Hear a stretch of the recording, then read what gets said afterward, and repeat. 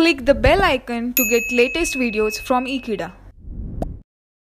Hello friends, now we are going to discuss the design of decade ripple counter. Let's start the discussion.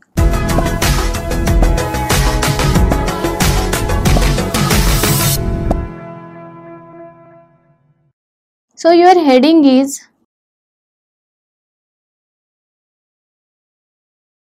decade ripple counter. So first of all, you should know what is the meaning of decade. Decade means what? It should count up to what? 0 to 9 and for 10 it should stop. You can say in other words mod 10 counter or also you can say BCD counter. So maximum number of states you can achieve here is 10. Maximum number of states equals to 10. Number of flip-flops used here is what? 4 and 0 to 9 you have to count. So with the use of the logical diagram and the truth table you have to design the decade counter and specifically a ripple counter. So we will start with the truth table. So for 0 0 0 0 we have decimal 0 0 0 0 1 we have decimal 1 for counting purpose.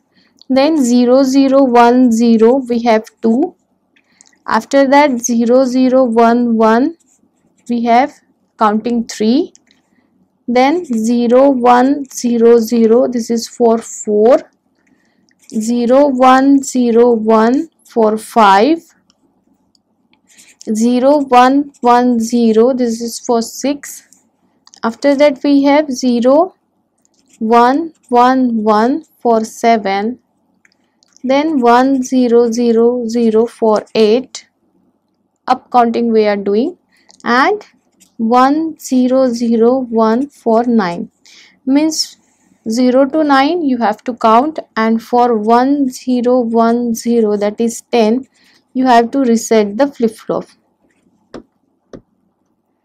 So this is all about for decade counter. Now if you see here the logical diagram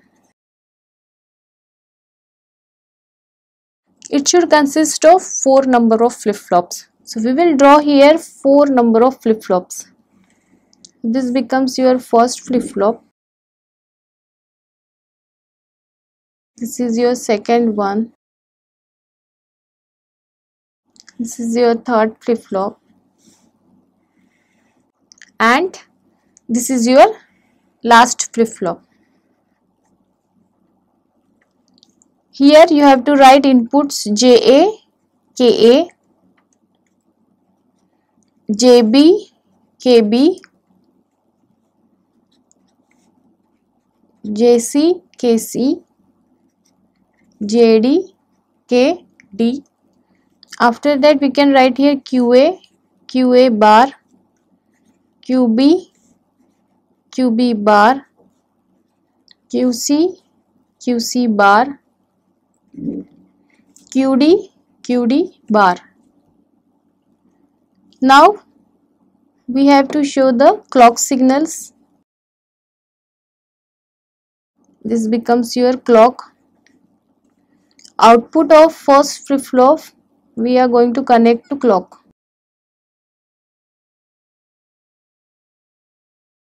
And this becomes your output QD.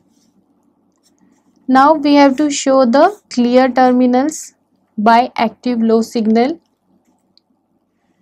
Whenever clear is 0 then only it will activate. When it is 1 it will not operate. So we have taken common terminal. So we have shown here all the clear terminals by active low signals. After that you have to apply all logical inputs to logic 1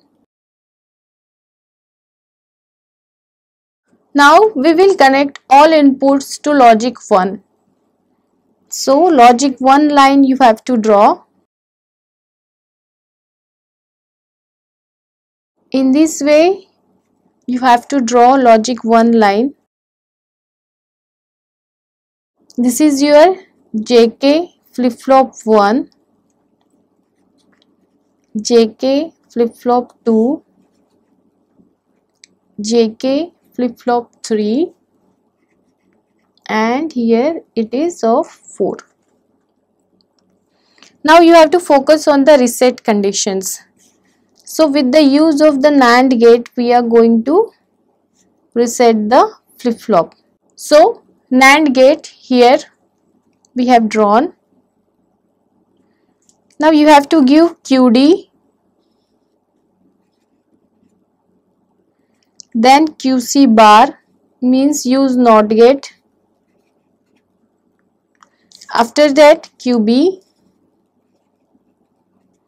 and QA bar means again apply NOT gate and write down QA.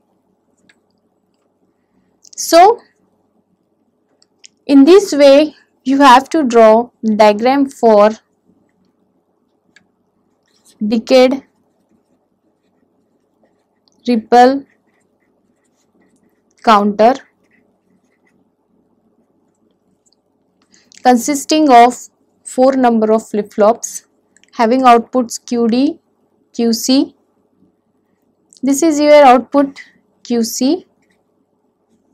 This is your output QB and this becomes your output QA.